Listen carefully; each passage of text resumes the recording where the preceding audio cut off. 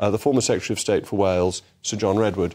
Um, John, the IMF has a record of getting forecasts wrong, but this matters because public policy is made on the basis of IMF uh, and OBR forecasts. Yes, indeed. I think we've got very bad forecasting records from IMF, Bank of England, Treasury, OBR. Uh, they all made the same mistake, I think, over the European Union. They, they attribute far too much significance to trade uh, when we've got a very big domestic economy. And they attribute far too much significance to trade with the European continent and very little significance to the trade with the whole of the rest of the world, which has been growing faster, is now bigger, and, and is in much better shape in terms of surplus or deficit than our trade with Europe. And their models are weighted. But a far bigger set of errors made by all those three forecasting bodies was, of course, to completely miss the takeoff in inflation uh, in the West.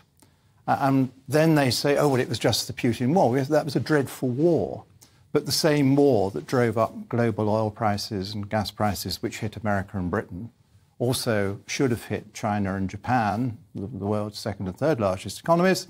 But they kept on with inflation around 2% because their central banks did not make the same egregious errors that ECB, Bank of England, and the Fed made, and they didn't have the same false forecasts because those three central banks in the West were always forecasting 2% inflation when I and a few others were saying to them, your policy is going to give us much higher inflation. No, that, that, that's absolutely right. And the IMF continued saying that inflation was going to be a short term problem until now. And now it's saying the opposite. It's now saying it's going to be a long term problem. We're yep. going to need higher interest rates for longer.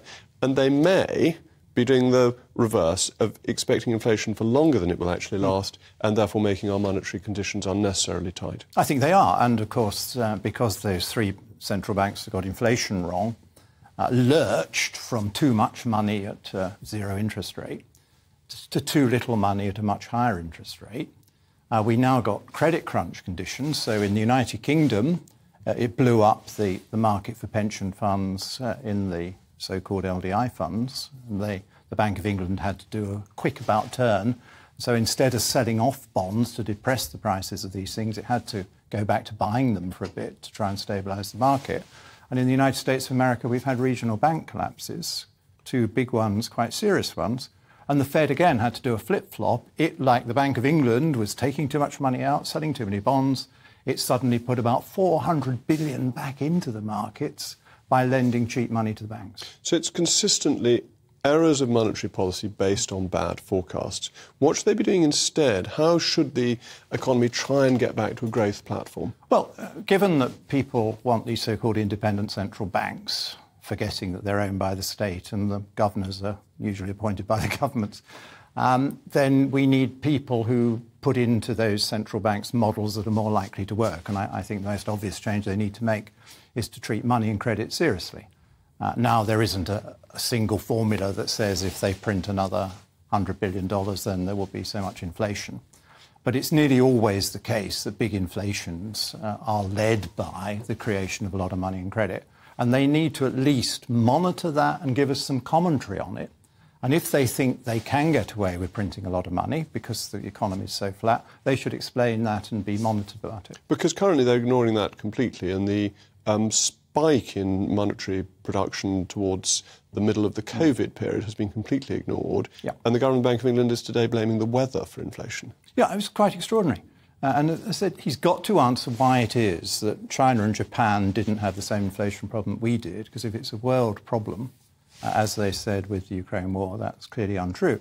And they need to answer in the UK why it was that the UK inflation was 5.5% before Putin invaded and drove the oil and gas prices higher. So they'd already almost three times target. And I think that was about the, the money they created and the very high price of bonds that they paid in 2021. I was actually a supporter of them creating money and making things easier in 2020 because the COVID lockdowns were so extreme. You, you did need to provide an offset and it wasn't going to be inflationary. But I think carrying that on throughout 2021, when we were having pretty good recovery and lockdown was uh, coming to an end, was a very big mistake. But the IMF's answer for our economic problems is to be more internationalist, to try and do more with the international club. As they've got it so consistently wrong, it doesn't seem to you to be precisely the wrong thing to be doing? We need to be focusing on what is in the national interest economically, mm. not how do we um, copy the European Union. Well, indeed, and, and they are wanting more austerity. Now they've made the inflation mistake with the others, so they're saying that we should scrap the triple lock and they're saying that we need tight fiscal and monetary conditions. They're telling the Bank of England to carry on selling bonds at huge losses. I think this is all very bad advice because I think they've done enough now to bring inflation down. I think we'll see quite soon that inflation is coming down here as it's started to do quite quickly in America and to a lesser extent in Europe. And yes, uh, one of the things you can do when you've got an inflation problem, you expand capacity there's too much demand, not enough supply. And instead, we've been following policies in Britain that seem designed to stop farmers growing food by giving grants to them to do something different, wilding their land, uh, to stop people producing domestic energy because it's said to be naughty energy. So they'd rather import the naughty energy from abroad and actually create more CO2 in the process. And we are destroying capacity, which we need to keep, get prices down. And I mentioned in passing the dreadful energy bill, which is going to do nothing more than regulate and put up prices for consumers, which is precisely the wrong time to be doing in a cost of living crisis. No, again, we need more capacity. We, we need more of our own generating capacity. Instead, they're putting in cables to import more from the continent. We need more of our own oil and gas. Instead, they're importing it in LNG form, which is much more carbon intensive and a lot dearer and a drag on the balance of payments. So, yes, we, we need a, a capacity revolution, an investment revolution. And just to make it worse, the IMF says that our carbon taxes, which are already higher than anybody else's and are killing our industry, have got to go higher. Well, we so mustn't... IMF austerity means fewer industrial jobs in Britain. Well, the lesson is don't listen to the IMF. Thank you very much, Sir John.